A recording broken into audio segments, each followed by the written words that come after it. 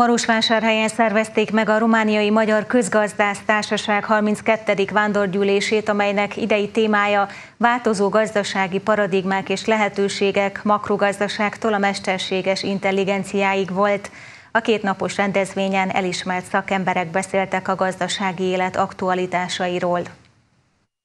32. alkalommal szervezték meg a közgazdász vándorgyűlést, a romániai Magyar Közgazdász Társaság legnagyobb hagyományú rendezvényét. A vándorgyűlésen összesen 30 elismert hazai és külföldi előadó, szakember, vállalkozó beszélt a gazdasági élet aktualitásairól. Az idei gyűlés fő témája a változó gazdasági paradigmák és lehetőségek, makrogazdaságtól a mesterséges intelligenciáig volt.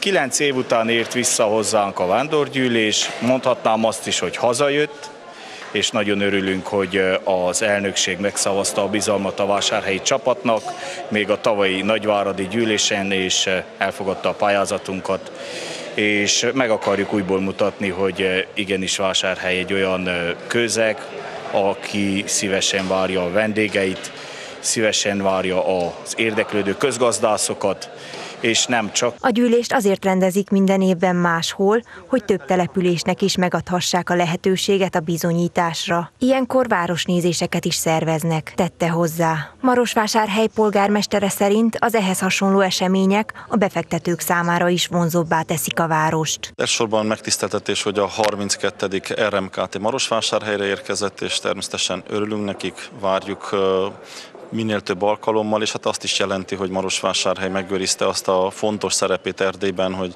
egy vonzóhely a vállalkozások számára egyaránt, és minél több ilyen rendezvényt kívánunk a városunknak, hogy ide jöjjenek a befektetők, munkahelyeket teremtsenek, és természetesen az önkormányzat is támogassa őket. Az eseménynek majdnem 300 résztvevője volt, akik hét plenáris előadást és négy szekcióülést hallgathattak végig.